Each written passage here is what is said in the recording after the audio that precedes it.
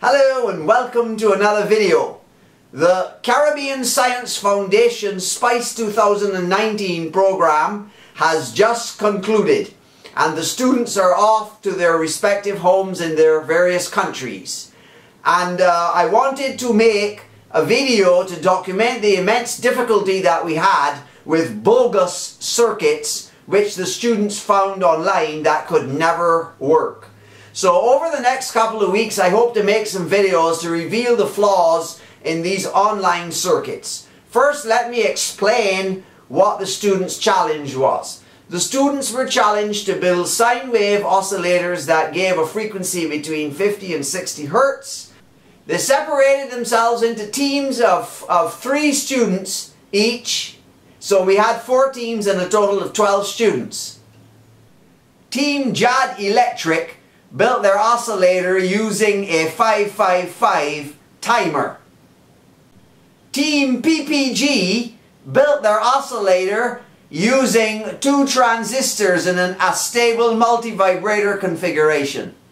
Team Circuit Breakers built their oscillator using a Wien bridge design with two transistors. And finally, Team Antares used an Arduino and fed the output into this filter. These students who had virtually no prior experience with electronics worked very very hard over the period of four weeks to get their oscillators to approximate a sine wave.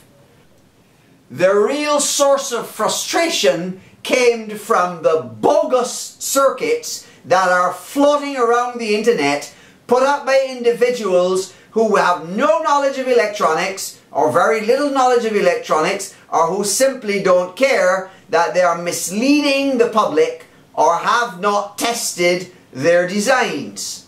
The wide proliferation of circuit simulation programs on the computer allows people to put up all sorts of circuits which will not work when built with real components.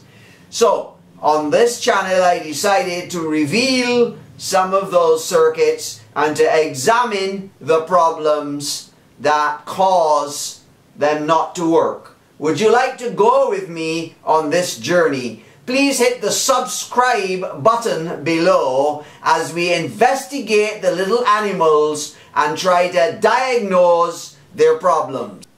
The Bubba oscillator is a circuit that's floating around on the internet and does not work in practical reality unless you pay careful attention to the phase shift as well as the gain.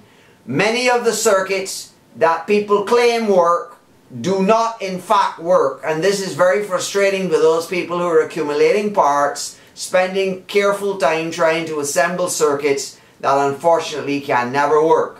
We will show you why.